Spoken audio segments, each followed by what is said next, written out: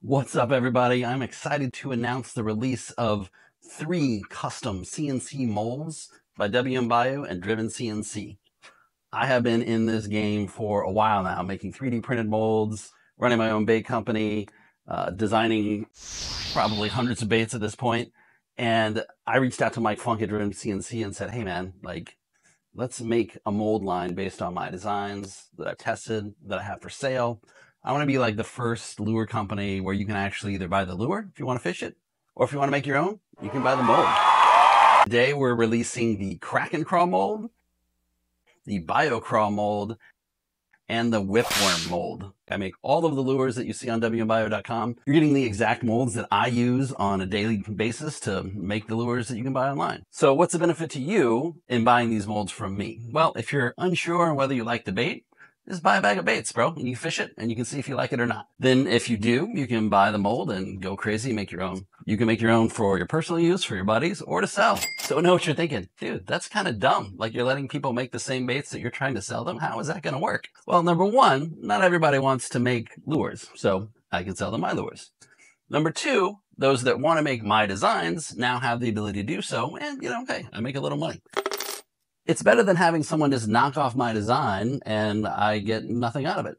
That's the way I look at it. But if you can produce better colors than I can, you got better hookups, you know, hey man, more power to you.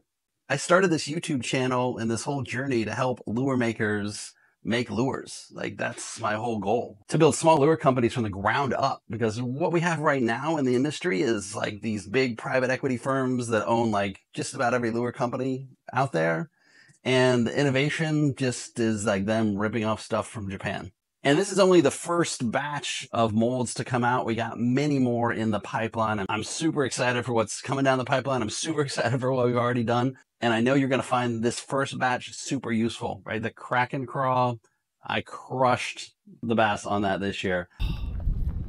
Kraken Craw, baby. Um, you know, the whole design uh, concept around that thing was we're throwing big swim baits. Why don't we throw big creature class crawl baits? And that's where the Kraken Craw came in. And man, flipping and pitching that thing in the lily pads where I fish just destroyed them. And if you wherever you fish a lizard, you'd fish it. Wherever you fish a big creature bait, you'd fish it. It's a sweet bait. Why is my voice cracking? I'm 53 for God's sakes. Then we have the whip worm, which, you know, if you watch my channel at all, you've seen was designed by AI. It's a super, super fine pintail that is just absolutely killer on any sort of drop shot, free fall rig, anything like that. I absolutely crushed them on just a straight Ned head on this thing. It's killer.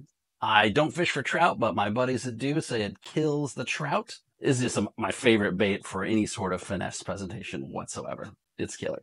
And next up, we have the Bayou Craw, which I really wanted to make a craw that had a lot of great action. Number one, had a very unique profile with lots of little appendages coming off of it and really had some rigging options that you don't normally see. So you can rig it with the concave side uh, down, and if, you reel it in kind of weightless or with a very light weight, it's going to get right on the surface and kind of flutter those legs and almost be like a top water lure.